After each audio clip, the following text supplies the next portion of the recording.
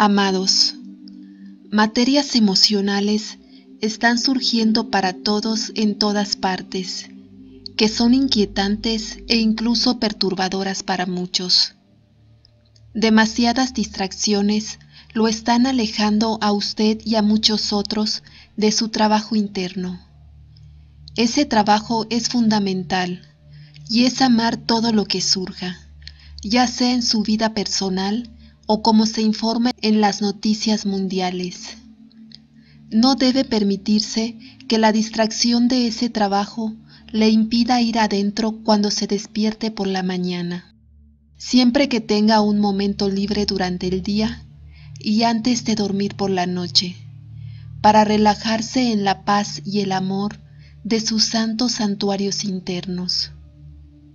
Sí, por supuesto que tienes que atender tu vida humana diaria. Sin embargo, no permitas que esas tareas y deberes diarios te hagan olvidar hacer ese trabajo interior. Encarnaron para estar aquí ahora haciendo este trabajo, para ayudar en el despertar de la humanidad. Eligieron estar aquí en este momento porque comprendieron completamente lo importante que iba a ser el trabajo que estarían haciendo. Muchas personas tienen un sentido arraigado de que no son lo suficientemente buenos, que no son dignos, que no se les puede amar. Pero esto es completamente inválido. Sí, como seres humanos en forma, podrían vivir sus vidas con más amor y compasión. Y muchos de ustedes han establecido y restablecido la intención de hacer eso pero luego tienden a juzgarse a sí mismos de manera muy dura y negativa cuando se ven a sí mismos como habiendo cometido un error. Como seres humanos, han elegido aprender la lección de que son el amor encarnado, y con frecuencia se les presentan oportunidades para aprender esto, y a veces no se dan cuenta de esto en ese momento. Cuando finalmente se dan cuenta, a menudo se reprenden por no darse cuenta en el momento en que sucedieron. Cuando te detienes en este tipo de autojuicios, preguntándose cómo es posible que se hayan permitido decir o hacer lo que dijeron o hicieron, agotan su energía e intensifican la sensación de no ser lo suficientemente buenos. Y hacer eso es deprimente, te está agotando la energía porque es alejarte del amor. Recuerden, todos ustedes son seres divinos perfectos. Es solo que la verdad de esto está oculta para ustedes debido a las limitaciones de tener forma humana. Y al recordar, también recuerdan que fueron creados por Dios, que los ama total y completamente, sin ni por un momento juzgarlos. En ese conocimiento, Perdónense a sí mismos y dejen de revisar sus errores y fallas.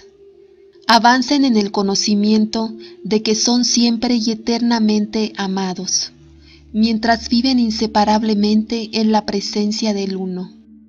Son amados y apreciados más allá de su capacidad de comprender completamente mientras todavía estén en forma.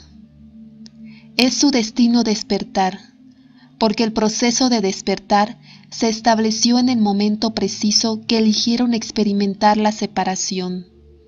El ambiente de separación que establecieron colectivamente es extremada convincente en su presentación de irrealidad para ustedes como real. Lo que es real es absolutamente hermoso, pacífico, gozoso. Acepta, ama y honra a usted en cada momento de su existencia eterna. La realidad es donde estás en cada momento. No hay ningún otro lugar. Esto es confuso para ustedes, porque solo quieren ser amados y sin embargo, donde quiera que miren, solo pueden ver lo contrario, miedo, ira, odio, amargura y desesperación. No lo es. Todos ustedes están progresando enormemente a lo largo de sus senderos individuales. Con mucha frecuencia esto no es del todo evidente cuando experimentan cosas, situaciones y dificultades en las relaciones que parecen totalmente ajenas a cualquier propósito evolutivo o espiritual. La experiencia humana de cada individuo es individual. Esa fue la intención con la que se diseñó el encuentro colectivo con la separación. Cada uno de ustedes experimenta la vida a su manera única. Tu experiencia es diferente a la de los demás. No puedes saber cuál es el camino de otra persona y por lo tanto no es útil intentar poner a alguien en el camino correcto, porque no hay forma de que puedas saber qué o dónde está o a dónde puede llevarlo.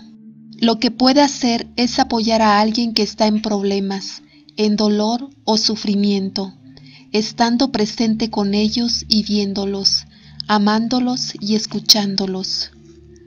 Como todos saben, cuando alguien enfoca su atención en ustedes, obviamente los ve y los escuchan.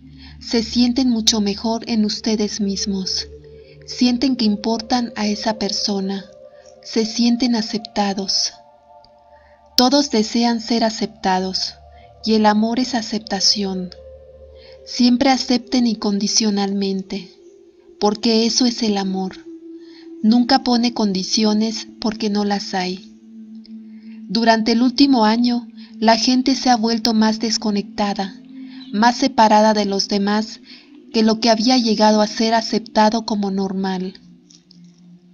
Por lo tanto, aquellos de ustedes que están escuchando este u otros mensajes amorosos necesitan intensificar su intención de amar todo lo que surja. Indudablemente, todos están descubriendo que está surgiendo mucho más para ustedes mismos, así como para el colectivo humano. Y las razones por las que esto es así son bastante claras ya que tratan con sus propias cosas intensificándose a medida que surgen para ser reconocidas. Lo preestableciste todo como parte de los caminos de tu vida individual para empujarte hacia el despertar y liberarte. A medida que lo sueltes en lugar de reaccionar a él, concéntrate en agradecer lo que te ha enseñado, porque al hacerlo encontrarás dentro de ti la fuerza y un deseo intensificado de interactuar solo amorosamente con todos los demás. Y es por eso que actualmente estás encarnado en forma humana. Tu tarea individual es amar. Esto no significa que renuncies a tu soberanía o que estés de acuerdo con opiniones o creencias que no son amorosas sino que simplemente te comportas y hablas de maneras que están alineadas con el amor, sin comprometerte en el juicio de los demás.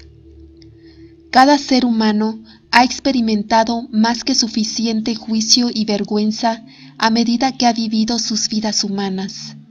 Y como pueden ver muy claramente, esto es extremadamente divisivo, separador. Todos son uno Así que despertar es dejar de participar en la división. Permitan que los demás tengan opiniones diferentes sin sentir la necesidad de corregirlas o estar de acuerdo con ellas.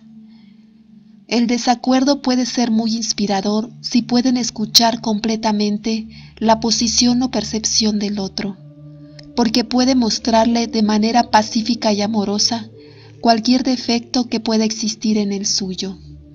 El desacuerdo es normal. A mí me gustan las galletas, a ti te gusta el pastel. Y no tienes por qué ser divisivo. Honra a aquellos con quienes no estés de acuerdo. Y muy a menudo encontrarás que te honrarán.